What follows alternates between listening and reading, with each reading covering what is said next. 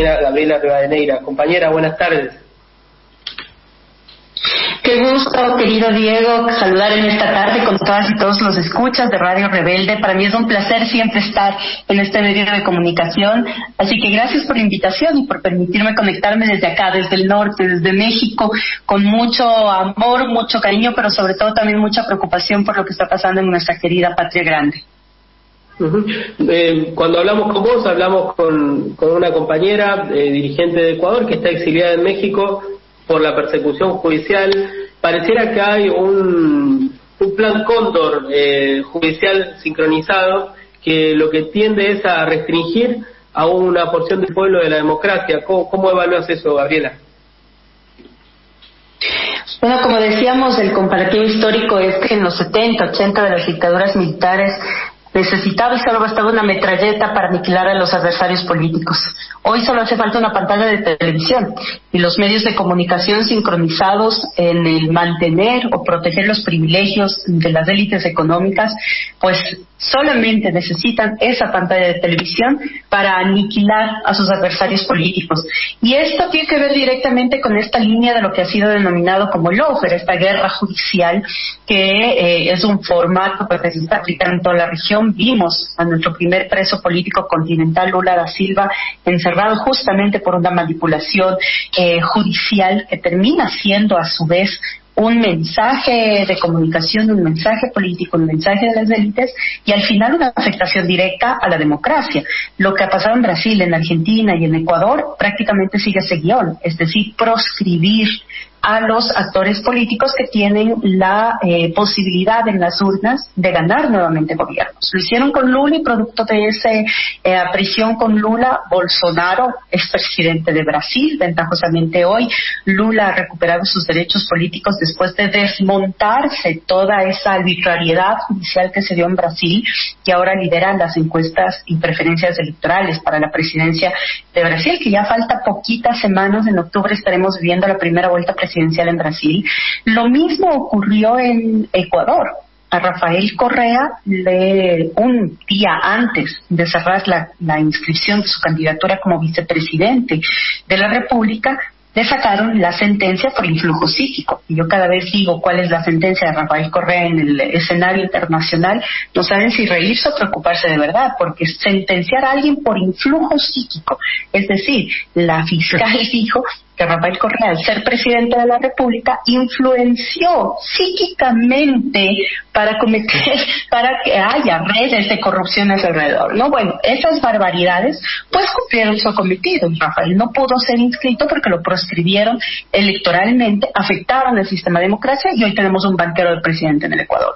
Y no es casual que en Argentina, después de que se ha dado un proceso permanente de guerra judicial contra Cristina, contra sus colaboradores, contra Amado Gurú, contra las Salas, contra eh, exministros, contra su propia familia, contra su hija, etcétera, hoy quieran también emitir una sentencia por 12 años para proscribirla de la posibilidad de que ella pues el próximo año se presente como candidata presidencial y evidentemente gane un gobierno frente al macrismo. Entonces, eh, no es fortuito, no es casual, es un formato, es una articulación que no es eh, aislada únicamente de las élites económicas de nuestros países, sino además que viene con una receta desde Washington, ¿no? Y esta es una política que debe ser observada porque es la manera que les ha permitido justamente mantener un formato de profundización de medidas neoliberales. Eh, Gabriela, Eugenio Perrone te habla. Eh, yo te, agradezco escucharte hablar de nosotros con conocimiento de causa. Eh, podría decir de algún militante muy informado de aquí las cosas que vos dijiste sobre Argentina lamento no tener el mismo grado de información sobre Ecuador. Em, esa acusación parece como influjo psíquico, como una acusación de brujería, es una quema de brujas esto. Definitivamente, Eugenio, un saludo muy especial. Y es así como tú lo dices, mira, eh, para, para comprender lo que nos está pasando ahora mismo en América Latina, no debemos ir muy atrás en la historia, solamente debemos revisar lo que pasó en inicios de siglo. La primera década de este siglo estuvo, eh, el factor fundamental fue la transformación, la soberanía, la, el cambio de reglas de juego de toda la parte sur del continente con el norte. Y eso afectó las relaciones comerciales, afectó la geopolítica, afectó la geoeconomía.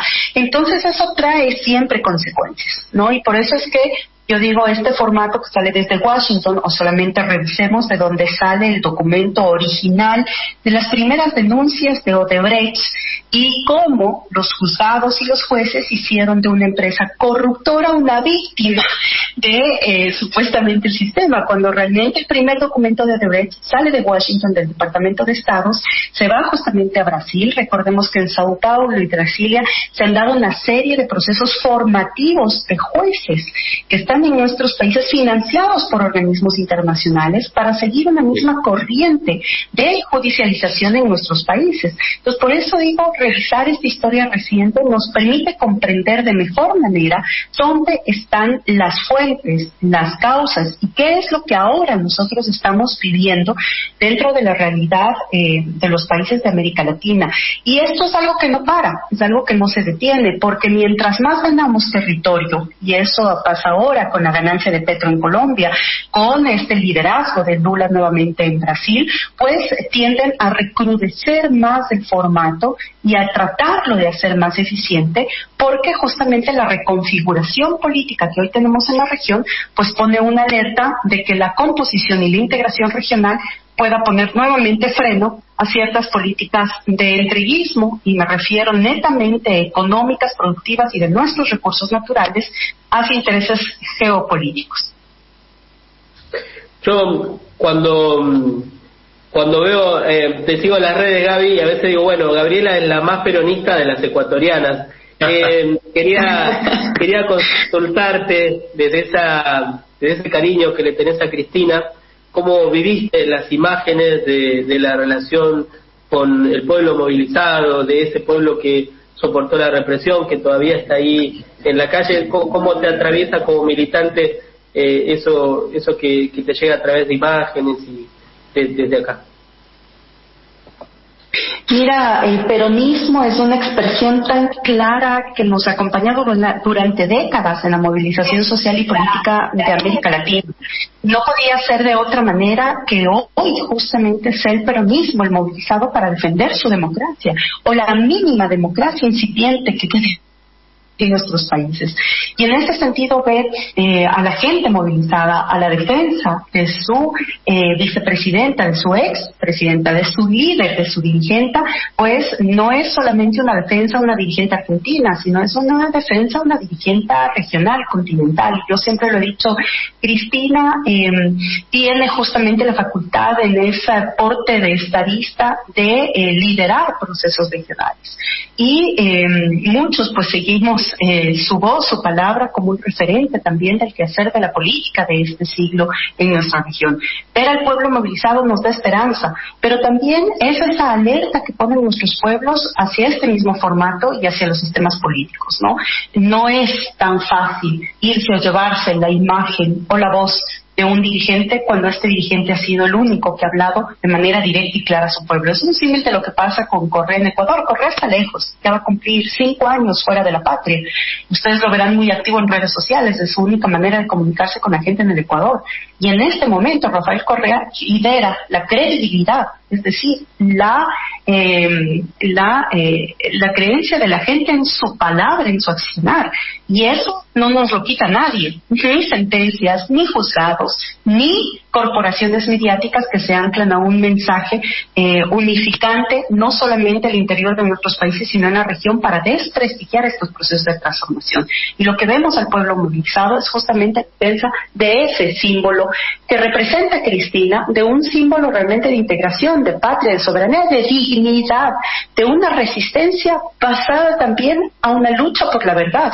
Y yo creo que eso es eh, fundamental y algo que además vimos también con agrada en estos días eh, es también cómo se unificó la voz y la palabra de quienes son parte del gabinete, ministros, ministras, secretarias, secretarios, anclados también en la defensa pública de la vicepresidenta de las y de los argentinos. Y eso, digo, nos trae colación de que a veces estos episodios o estos momentos son los episodios que nos llaman a que solo en unidad podemos realmente salir adelante. Y este es un proyecto que tiene que defenderse con miras al próximo gobierno, con miras a sostener gobierno, con miras a sostener un gobierno dentro de este nuevo ciclo integrador del progresismo en la región. Y me parece, pues, que con eh, no con eh, con pocas razones sino con muchas razones y mucha verdad pues nos hemos articulado alrededor de la solidaridad y de la defensa de la verdad en este caso de la compañera Cristina Fernández de Kirchner en Argentina Gabriela, eh, bueno, otra vez gracias por lo que estás diciendo, por tu conocimiento. para nuestra falta de conocimiento, ¿nos hablas un poquito de cómo ves el Ecuador el año próximo, cómo es el proceso, qué, qué preocupaciones tenés sobre tu país. Ay, me pones un tema muy sensible, Eugenio, porque realmente el Ecuador es un país en crisis profunda.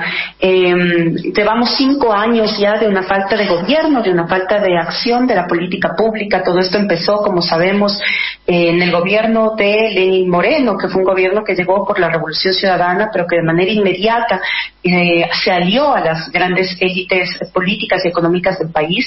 Y eso hizo que haya una fracción y que nos convirtamos en oposición. Hasta ahora somos la única organización política que se ha mantenido firme en la oposición a un gobierno neoliberal y ahora a un gobierno banquero. Las últimas elecciones las perdimos. Rafael Correa no pudo participar de candidato. Em, tuvimos muchas oportunidades de ganar, sin embargo, perdimos Sí, exactamente. Eh, por ese encantamiento desde Bélgica, que parece que no entienden algunos eh, portadores de los medios de comunicación, pero en definitiva eso ha hecho que nuestro país tenga muchos retrocesos. No solamente la pandemia, sino además eh, afectó una falta de planificación política y pública desde el Estado. Se retornaron nuevamente a políticas del Fondo Monetario Internacional cuando el FMI había salido del Ecuador en el año 2010 y em, ahora, eh, perdón, en el año 2013 y ahora retorna al Fondo Monetario Internacional implementar una receta y una injerencia directa y ya sabemos lo que eso trae para nuestros pueblos. Argentina lo vivió con Macri y es exactamente ese nivel de profundización y de sobreendeudamiento que ahora nos tiene en una crisis económica, en una crisis del sistema carcelario. Es impresionante, Ecuador pasó a ser hoy el país que lidera las muertes de personas privadas de libertad en todo el continente. Eh, la crisis en el sistema de salud, ahora están denunciando todas las instituciones públicas de salud la falta no solo de médicos, sino de medicinas, lo cual es eh, absolutamente grave. Entonces, digamos que el país está eh, con retrocesos en todas las áreas y eso nos duele, me duele profundamente. Y lo que em, ahora nos da un poquito de esperanza entrar en proceso electoral y en gobiernos locales. ¿Se cortó? Hay, hay de gobiernos locales. Ah.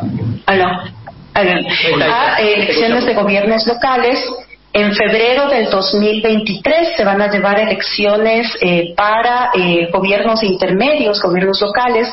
Por primera vez en cinco años la Revolución Ciudadana va a participar con partido propio, es decir, logramos ya la inscripción del Partido de la Revolución Ciudadana, lo cual nos pone ya en otra palestra de disputa electoral. Vamos a poner candidatos y candidatas en todo el territorio ecuatoriano e indiscutiblemente eso nos va a permitir cambiar un poco la balanza en la correlación de fuerzas internas. Y esto con miras a que en el año 2025 podamos ir a una elección presidencial mucho más organizados, más fuertes, más estructurados y eso nos permita el cambio de timón. Todavía quedan tres años del gobierno de Lazo. Nadie sabe lo que puede pasar. Recién pasó una fuerte movilización, un pedido de eh, destitución en, la, en el poder legislativo del país. Es decir, hay un ámbito de ingobernabilidad que no ha parado, que continúa y que nadie sabe lo que va a deparar en la política ecuatoriana en los siguientes años. Pero esa es nuestra realidad y ante eso pues seguimos trabajando con la gente, con las bases y sobre todo en la posibilidad de ganar algunos gobiernos locales que nos permita tener más estructura y más organización a nivel del país. Gabriela, muchas gracias por atendernos, gracias por el análisis regional, por la solidaridad constante, por este, esta cercanía, esta empatía, por estar tan empapada de nuestra realidad. Eh, es un honor para este programa tenerte. Te mandamos un abrazo grande y podemos, esperamos poder eh, comunicarnos de vuelta con vos. Muchísimas gracias, Diego, Eugenio, un abrazo gigante, gigante siempre. Fuerza Argentina, fuerza nuestra vicepresidenta, eh, nuestra vicepresidenta, fuerza al presidente eh, argentino. Todos tenemos que ir hacia una misma causa y es la causa de la dignidad de nuestros pueblos. Así que eh, hasta una próxima. Para mí un gusto estar en Radio Rebelde.